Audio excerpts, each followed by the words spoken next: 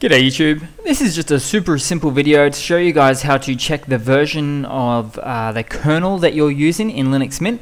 So what you do need to do is go to a terminal and let's uh, issue the following command to do so. And it's very very simply uname-r and uh, as you can see we're running 4.10.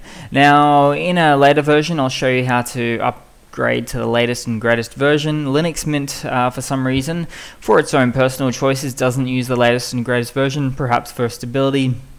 Uh, uh, concerns and things of that nature. But uh, yeah, this video is just to show you guys how to confirm what kernel you are currently using in Linux Mint. So cheers guys, hope you've enjoyed.